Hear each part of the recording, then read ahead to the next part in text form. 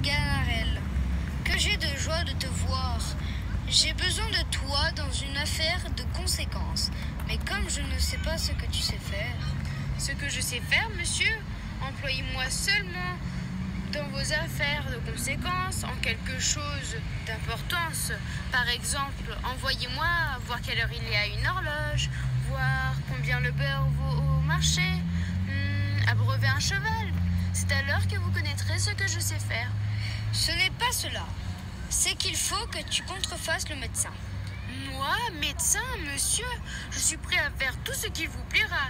Mais pour faire le médecin, je suis assez votre serviteur pour n'en rien faire du tout. Et par quel bout m'y prendre, bon Dieu? Ma foi, monsieur, vous vous moquez de moi Si tu veux entreprendre cela, va, je te donnerai dix pistoles.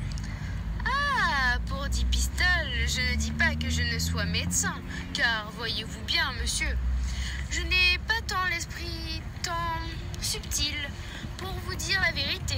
Mais quand je serai médecin, où irai-je? Chez le bonhomme Corgibus, voir sa fille qui est malade. Mais tu es un lourdeau qui, au lieu de bien faire, pourrait bien. Eh, monsieur Bon Dieu Ne soyez point en peine. Je vous réponds que je ferai aussi bien mourir une personne qu'aucun médecin qui soit la ville. On dit un proverbe d'ordinaire, après la mort, le médecin. Mais vous verrez bien que si je m'en mêle, on dira après le médecin, gare la mort. Mais néanmoins, quand je songe, cela est bien difficile de faire le médecin. Et si je ne fais rien qui vaille? Il n'y a rien de si facile en cette rencontre. Corgibus est un homme simple, grossier, et qui laissera étourdir de ton discours pourvu que tu parles d'Hippocrate et de Galien et que tu sois un peu effronté. C'est-à-dire qu'il lui faudra parler philosophie, mathématiques.